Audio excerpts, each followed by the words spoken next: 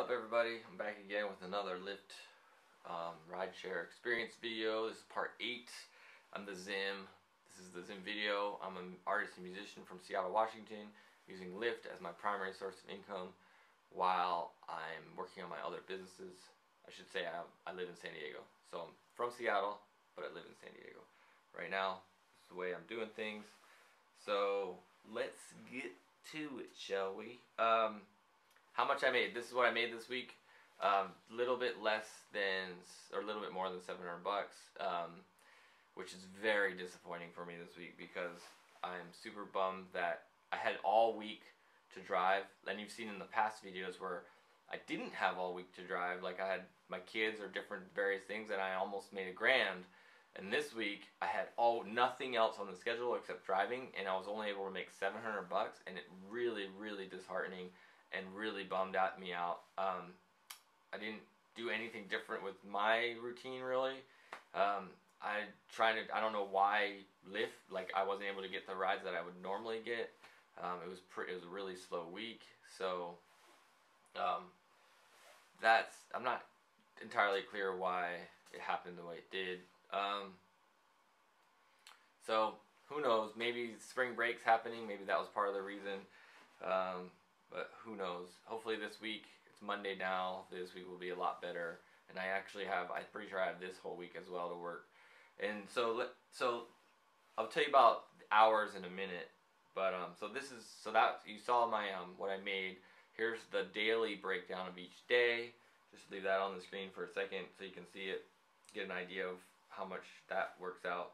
Um, here's my, well, just a side caveat for me personally it really feels like it's hard to make this a sustainable job unless I can hit a thousand dollars or really close to a thousand dollars a week.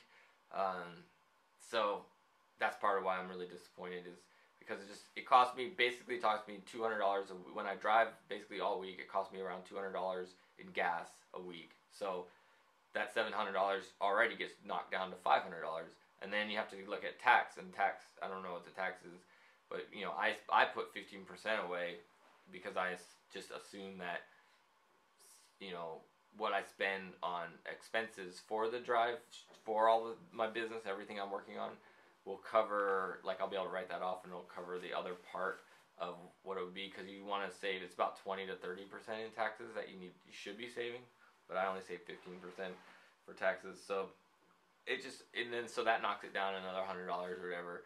Um, so I'm looking at four hundred dollars to survive on for the next week, and you know it's not enough. It's just not enough. So in, until I can get around that thousand dollar mark, that's when it really then then I can go okay. I can breathe. I don't have to work as hard and be just as insane with what I'm doing.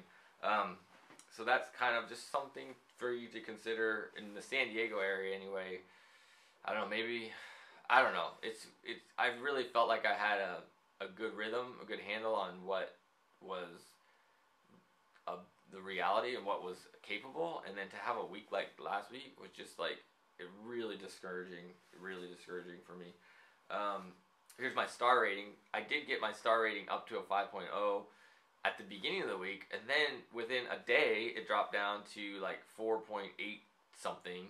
Um, luckily on my like so I got my star rating up to a 4.95 somewhere during the week. I, I'll just leave them scroll. They'll be scrolling along here so you can see every day's email I get.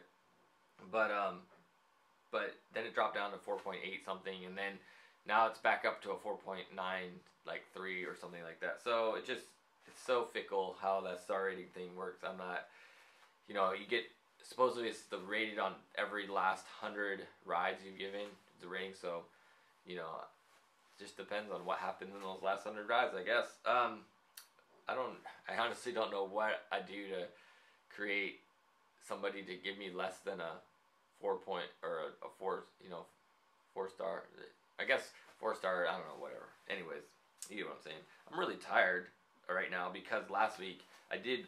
So let me talk. Well, let me talk for a moment on. Well, I'll do this first on my hour, the schedule. So as you might already know, I didn't really know this. I didn't see it in any of the tutorials that happened through Lyft. Um, but it was it's written down on the Lyft website. It's basically you can drive up to 14 hours a day, and at some point you need to stop for a six-hour break. So, you know, if you drive 14 hours straight, you'll be cut off, and then you'll you know can drive for six hours. However, that's less than 24 hours. So if you're kind of a normal person and kind of do things on a schedule like a daily schedule, then in order to to start the next day, you know, you have two more hours, you know, so there's an eight hour break in there kind of thing that you could have. What I've been doing, what I kind of been falling into and what I did all last week was I start around five or six in the morning, go to about noon, take a like a three hour break at noon to to three or whenever, and then start up again around three or four and go to like ten or eleven. It's kind of the schedule I go by, and it worked out pretty good, and that's basically what I've been doing. But I didn't really put together. I was I thought at first it was you had to stop every 24 hours. You had to stop for, or within every 24 hours you had to stop for six hours. I didn't realize you actually had to only could drive 14 hours until now. So it's kind of it's kind of good because it forces me into um, a better schedule. Like I can take a break in midday and I'm gonna start working out more again because um, I'm realizing that I have to stop and then so that I can work till 11 or so is my perfect schedule, the schedule that I like. So that's just something for you to consider if you're considering driving or if you didn't realize that when you want to put in a longer day, you can only drive for 14. It just basically stacks up until you until you do that 6-hour break, the 14 hours will keep compiling even if you took a 5-hour break. It'll still the next time you start, it'll add to the last hours you did until you hit 14 hours, and it'll kick you out for 6 hours. So something to be aware of. Um, yeah, so there you go. Um, the amp reaction. So as you know, last week I got my amp, got it hooked up. I've been seeing more of them on the road as well. And one of the things, the main reaction that I've seen to the amp by the passengers is that they there's more people that think you're their ride um, because they can see it better, especially at night. They see your little amp, they see your little glowy Lyft thing, and they think that you're their ride because you can tell. I mean, you if you've been driving for a while, you start to be able to see the people on the corners and on the curbs and on the, the street that are waiting for a Lyft. Um, and you just kind of know what they look like. And they think that you're their ride more often, and they kind of get all excited, and then it's like, no, I'm not your ride. I'm just going somewhere else. Um, and so uh, it's interesting that they, they only see that. But it's I guess it's kind of good as a beacon for people to see you, but it makes it potentially more confusing when people actually pull over and then there could be a couple people trying to get into the same Lyft without them looking at what their car they should actually be getting into. But I, that hasn't happened to me yet. I just can see that people get all excited when I'm driving down the street because it's like, nope, I'm not your Lyft. Um, the referral, here's my referral code. I um, if you want to kick down and become a Lyft driver, it looks like at this point right now they're doing it's a two thousand dollar bump for you and a three hundred fifty dollar bump for me if you end up getting what was it, 500 rides in two months.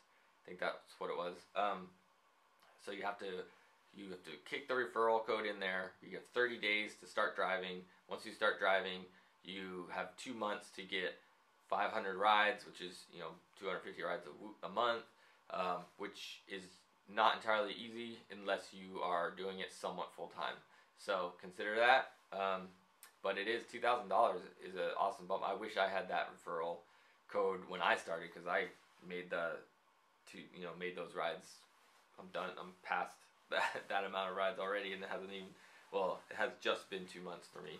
So I'm at like six hundred and eighty some rides as of this moment right now, um, which is pretty cool. And then, as you know, I'm working on my own business at the same time. One of the big parts of it is a clutch purse I make. Those are them on the wall. I don't have any in front of me, but if you want to buy one, um, it's you can go to the Etsy store for it and use this referral code LIFT20 for 20% off. All right, that's good for today. That's been my rideshare experience. If you have anything that you want to ask me about my experience so far, go for it.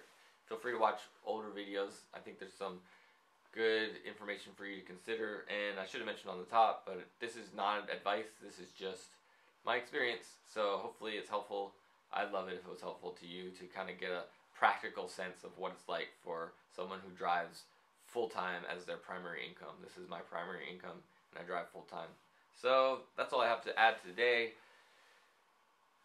I'll catch you next week. Next time I do this. It's been about weekly. I took a break there for a minute, but I'm back on it now. Should be back should be back weekly for a while. So alright. Peace.